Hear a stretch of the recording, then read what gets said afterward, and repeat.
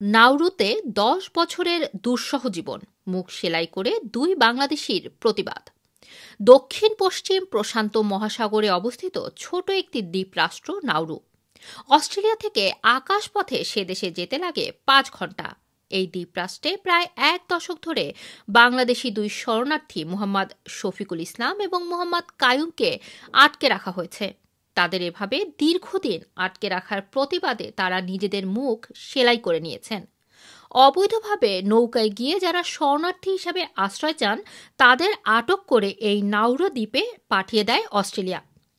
দু হাজার তেরো সাল থেকে দ্বীপটিকে শরণার্থীদের আটক রাখার স্থান হিসাবে ব্যবহার করছে অস্ট্রেলিয়া।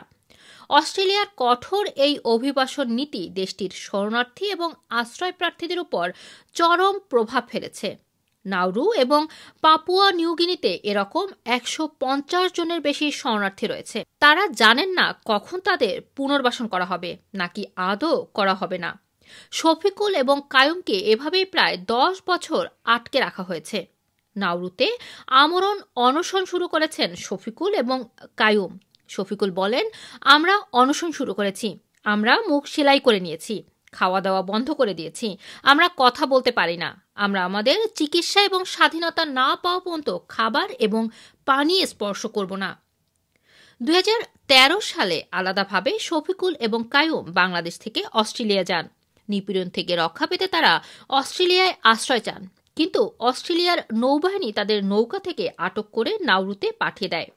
শফিকুল বলেন, পরিস্থিতি নিরাপদ নয়। নাউরুতে শরণার্থী সব মানুষের সঙ্গে পশুর মতো আচরণ করা হয়। এখানকার চিকিৎসা ব্যবস্থা খুবই খারাপ।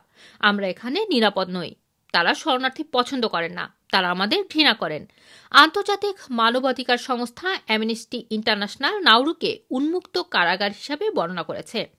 নাউরুতে আটক শরণার্থী শিশুদের মধ্যে নিজেদের ক্ষতি, আত্মহত্যা সহ নানা আচরণের প্রবণতা দেখা গিয়েছে। সে দেশে বন্দী দুইশো শিশুর মধ্যে মাত্র চারজনকে দুই সালে যুক্তরাষ্ট্রে পুনর্বাসিত করা হয়েছে।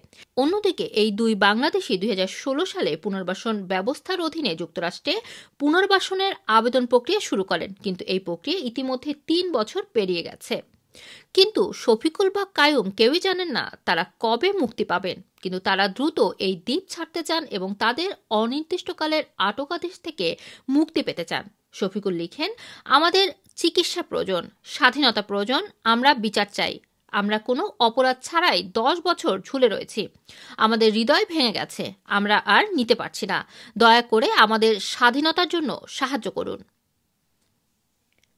আন্তর্জাতিক বিষয়ক এমন তথ্য জানুন আমাদের ইউটিউব এবং ফেসবুক পেজে লাইক ফলো এবং সাবস্ক্রাইব করুন আমাদের চ্যানেলটি